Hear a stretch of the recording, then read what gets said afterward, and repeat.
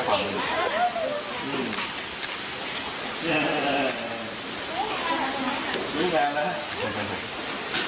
แล้วแล้ว ก็ต้องบอกเลยนะคะว่าเจ้าพยูนน้อยตัวนี้รู้งานค่ะ โชว์นอนหงายให้กับนายจตุพรบุรุษพัฒน์อธิบดีกรมทรัพยากรทางทะเลและชายฝั่งให้ชมกันด้วย โดยเจ้าหน้าที่เนี่ยนำมาเลี้ยงไว้ในบ่ออนุบาล กลุ่มสัตว์ทะเลหายาก ศูนย์วิจัยและพัฒนาทรัพยากรทางทะเลและชายฝั่งทะเลอันดามันลูกพยูนตัวนี้เป็นลูกพยูนเพศผู้นะคะวัยประมาณ 3 เดือน น้ำหนักประมาณ 25 กิโลกรัม โดยชาวบ้านบ่อม่วง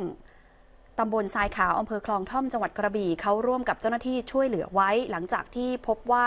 เกยตื้นอยู่บริเวณชายหาดบ่อม่วง เมื่อวันที่ 1 กรกฎาคมที่ผ่านมา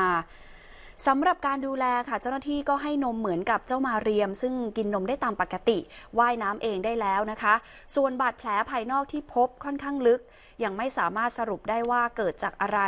จึงได้มีการเก็บตัวอย่างเนื้อเยื่อและเลือดไปตรวจในห้องปฏิบัติการ เพื่อดูว่ามีอาการติดเชื้อหรือไม่ แล้วก็จะทราบผลภายในหนึ่งสัปดาห์นี้ค่ะ สำหรับสถานการณ์พายุในประเทศไทยนะคะในช่วง 2-3 ปีที่ผ่านมา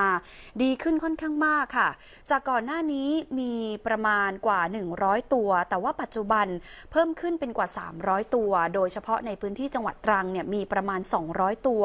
ซึ่งก็ถือว่าเป็นเรื่องที่น่ายินดีนะคะ การดูแลพายุเนี่ยถือเป็นเรื่องใหม่สำหรับประเทศไทย ทางด้านอธิบดีกรมทรัพยากรทางทะเลและชายฝั่ง ก็เลยได้มีการสั่งกำชับให้เจ้าหน้าที่นั้น ดูแลอย่างใกล้ชิด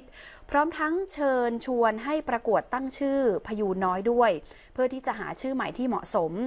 อย่างน้องมาเรียมที่ไม่มีการประกวด เพราะว่าชาวบ้านบนเกาะลิบงได้ตั้งชื่อเอาไว้ก่อนแล้ว แปลว่าสาวน้อยที่มีความสวยงามแห่งท้องทะเลค่ะ